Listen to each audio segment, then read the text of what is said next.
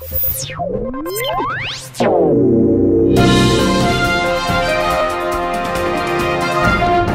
morning and welcome to Ardleigh Green Junior School. It's Thursday, the 9th of March. Thank you very much for all the positive comments we had regarding the video we posted last week uh, about Hogwarts. I'm pleased to say we're now back to Ardleigh Green Junior School. But many of you said it was good to get a news update, so we're going to try it. It's been a busy week here at Ardleigh Green, as usual. We've had football matches, we've had matches against Crownfield in netball and Harold Wood. Tonight, the, the boys are playing in the quarterfinals of, of the Havering Cup. We've had a visit from a Stone Age workshop in Year 3. Uh, year 4 this morning, they performed three musicals which they've written uh, during this term with Mr. Linden, which has been absolutely fantastic.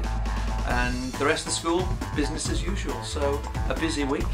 Coming up next week, we'll be celebrating St. Patrick's Day. That will keep real and happy. We have football matches, we have netball matches. We even have a visit coming up from the police for good reasons, I'm pleased to say. Uh, the police force will be coming in to speak to our Year 6 children, talk to them about a career as a police officer. Don't forget to check our website diary, which will keep you fully up to date with all the exciting activities at Ardleigh Green Junior School. Have a good week.